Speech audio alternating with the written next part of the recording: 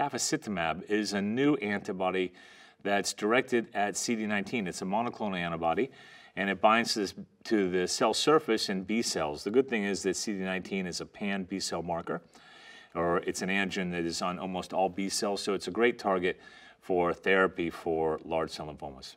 The L-MIND trial was recently presented, and this was a trial that combined tafasitamab with lenalidomide. Uh, again, this is a monoclonal antibody, and they combine it with a drug that has been shown to change the microenvironment. It can potentially increase ADCC, and that's antibody-dependent cellular cytotoxicity. We've seen in other trials, when you combine lenalidomide with monoclonal antibody therapy, you get increased activation of certain benign cells within the tumor microenvironment can potentially increase the activity of monoclonal antibodies. So the purpose of this trial was to combine a drug like this, lenalidomide, with this CD19 antibody and hopefully increase the responses that we would expect from that antibody alone. In the L-MIND trial, uh, they looked specifically at patients with relapsed large cell lymphoma. And this was a fairly beat up patient population. Many of these patients had had two or three lines of prior therapy. Nearly all these patients were transplant ineligible. But despite that, they saw actually a very high overall response rate on 58% overall response rate, and 33% of patients had a complete remission.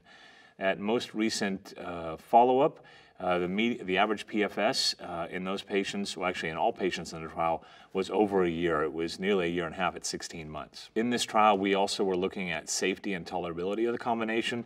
And the good news is that the side effect profile really looked very similar to what we expect with lenalidomide as a single agent. And that means occasionally we see some neutropenia, rash, fatigue, and diarrhea, but not a lot of additional side effects with the addition of a monoclonal antibody to lenalidomide as a backbone.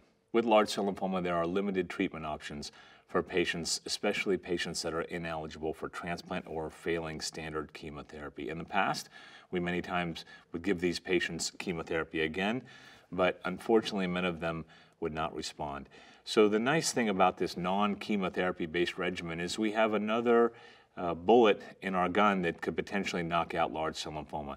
Now, I think this regimen uh, may eventually be combined with some other therapies to hopefully achieve cures in many of these patients, but with an overall response rate of over 50% and a duration of uh, remission that's over a year, it's a great option for patients that really don't have a lot of treatment options with currently available therapy.